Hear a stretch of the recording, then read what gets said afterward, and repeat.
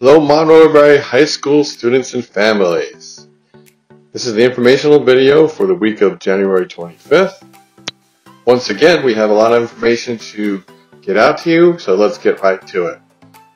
First, we will continue with the segment of introducing members of our pupil personnel support staff. This week we have Ms. Amanda Panetta, psychologist, and Ms. Danielle Pelsue, school counselor. Hello, MW High School. My name is Amanda Panetta, school psychologist of House B. I've been in the district 12 years, at the high school 9 years. Fun fact about me is while I was a senior in high school, I applied to photography school in Santa Barbara, California, and I was actually accepted. 20 years later, here I am. Hi MW High School, I'm Mrs. Pelsue. I'm a House B school counselor.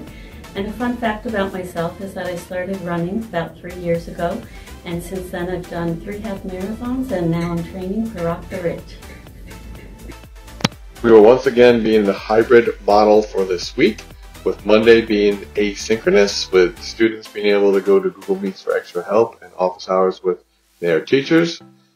Please note that teachers will not be available between 9 and 10 a.m. on Monday this week, as there is a district-wide professional development workshop occurring. Tuesday and Wednesday will be D days this week, and Thursday and Fridays will be E days. Again, on Tuesday and Thursday, our hybrid A track students will be in the building, and on Wednesday and Friday, our B track hybrid students will be in the building. Don't forget that this Friday, January 29th, is the end of the second quarter and the first semester. Senior portraits will continue this week, January 25th through 27th, 3.15 p.m. till 8 p.m., and again on February 8th through 10th, 3.15 p.m. to 8 p.m. All these senior portraits will be in the music wing. Please come through that entrance. Seniors, it's time to order your cap and gown. Information was sent out last week on how to complete this. Please do so by February 12th, 2021. Please know, seniors have the option of choosing either the white or purple gowns. Please disregard the color assignment that is in this online system. Again, you may choose either the white or purple gowns. Seniors, there is also a senior event at the Bear Mountain Ice Skating Rink on Wednesday, February 17th. Information concerning this was sent last week as well. There are still plenty of slots available in each time session. Remember, you need to sign up for a session by noon this Friday. The National Honor Society will continue with tutoring. If interested in attending the tutoring, Please see the information attached to the email. Please remember to have your COVID-19 SNAP screening completed before 645 each day.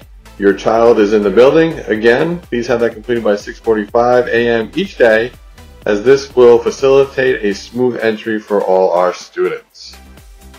Our prom presentations begin this week. The first two are Monday and Thursday, Monday from 7 to 8 and Thursday from 6 to 7.